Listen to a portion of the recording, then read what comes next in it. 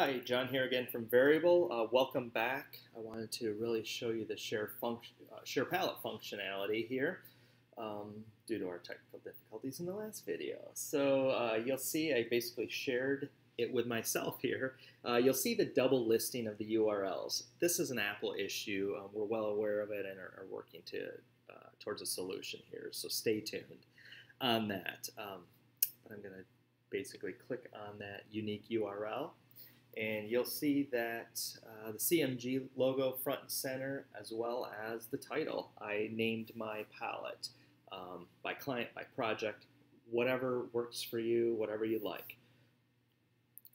You'll then see the individual swatches. Um, those two scans at the top, those are two I did at the end of the last session. Um, they only display the hex codes since we did not relate them to a specific library. Um, a paint color, a textile color, a, CMG uh, trend library, a Munsell color, NCS color, none of those. Uh, but at any time, I can go back into my history in the main menu, pull up that color, and then get the um, appropriate closest match to whichever library I have selected.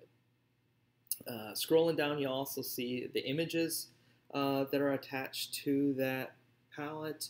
Um, on this NCS color, another little bug. We're redesigning um, this share screen um, to incorporate, you know, uh, more real estate or not show um, all of those values until they're clicked on. Um, but you basically, uh, you know, see the image, uh, the image set that you've um, saved to this palette.